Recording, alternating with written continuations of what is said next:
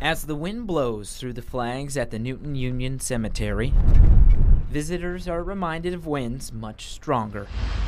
Newton was at the end of the March 5th tornado's destructive path. Union Cemetery was hit hard. But by Saturday, most of the damage has been repaired.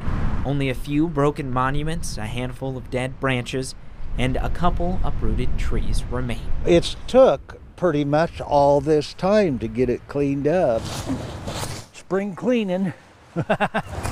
Perfect timing for those like Dennis Hickey and his sister Diana, At least we don't have any poison ivy this year. visiting their father's grave on Memorial Day weekend. It was a ritual every weekend. That's what you did is come here and watered them throughout the year. A somber tradition Cool. to honor those who have fallen. The windstorm that come through just really made a mess out of everything. John Bestel is grateful for the city's cleanup efforts just in time for the day of remembrance. This is what- like the way it used to be. You know, it's they do a super job here in Newton of taking care of this cemetery here this way.